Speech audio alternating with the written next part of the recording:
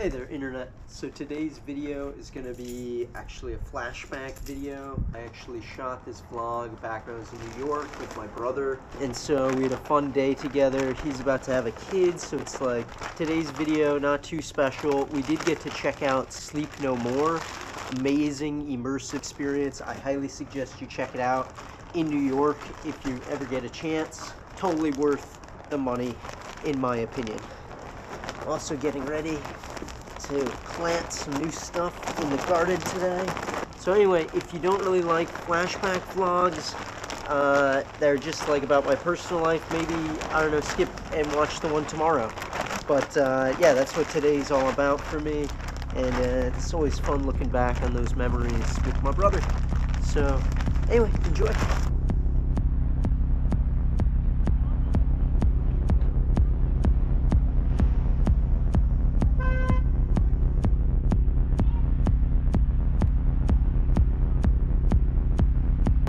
Hey there, Internet. So I'm in New York City today with my big brother, Jeff. And uh, we're walking around. We're going to go see a play tonight called Sleep No More, which is an interactive version of Macbeth. And it's pretty crazy in the city. France just won the World Cup, so everyone's like yelling, super excited.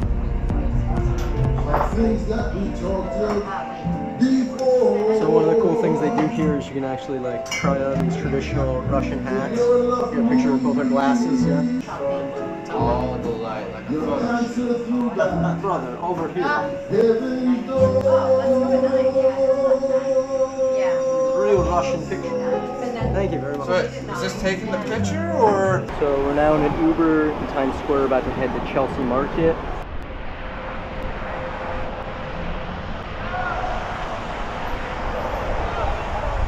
So we made our way to the Chelsea Market, and we're gonna explore this art exhibit called Island. I don't know what exactly it is, but you walk inside and it's like a nice island environment, and it's got whoa, feel feel the material. You can see there's tons of different stores and restaurants, and there's also this cool like waterfall well thing you can put coins into to make a wish. You have a coin? Ah, I wish I had a coin. So we're here finally at the hotel where Sleep No More is going to take place. We're going to get dinner here beforehand. Jeff got a really fruity purple drink called Sleep No More. I just got some scotch. Cheers to your purple fruity drink. How is it? It's got lavender in there. Alright, so we're about to go to Sleep No More. We're waiting in line. There's no filming allowed inside because they want to keep it really secretive. There's a lot of cool stuff going on. Everyone kind of knows how Macbeth ends, but I guess everything's kind of different. It's a modern twist on it. So it'll be interesting to see, but not allowed to film. So we're just gonna Sleep No More. What did you think about it?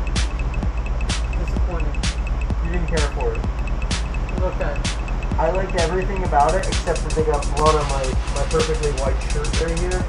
Which by the way is the, the shirt I, I was after your wedding. I hope that comes out. Should really give a warning before the play that there's blood involved.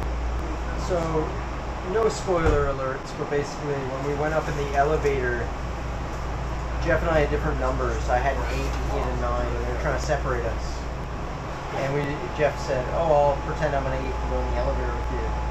And then in the elevator, they stopped at a floor before the top floor, and they picked me out specifically, pulled me out of the room. So I was completely on my own in the beginning of this experience, which maybe made me like it a little bit more. But I also saw some key scenes that Jeff missed, and that I think was the biggest challenge. Is there are like three or four key scenes in it that unless you're following it, you're kind of missing the main story. You had to explore on your own. It was pretty big. Did you see anything that was like you with three or four just people and not like a whole group? Yeah. Physical things. I'd say like my favorite parts were the moments where it was like me and only a few people versus a giant crowd of people. But there was a murder scene that was done really well done with uh, a strobe light, and that had a lot of people, but I was very close to it. The entire time I was concerned about getting blood on my shirt.